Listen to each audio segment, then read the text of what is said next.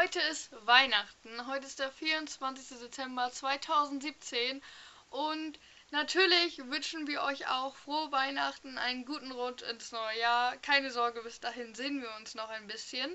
Aber trotzdem wollte ich euch heute einfach alles Gute wünschen fürs nächste Jahr. Ich hoffe, ihr kommt gut rein. Ich hoffe, ihr habt das erreicht, was ihr dieses Jahr erreichen wollt und schaut positiv in 2018.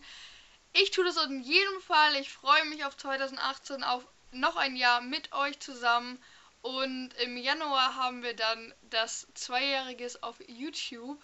Da könnt ihr euch auch auf ein Special freuen. Und ja, ich wünsche euch einfach ein ganz, ganz tolles Weihnachten, einen schönen Heiligabend mit euren Eltern. Lasst euch reich beschenken und genießt es einfach, denn familiäre Tage sind doch bei einigen Familien sehr, sehr selten und deswegen sollte man sie umso mehr genießen.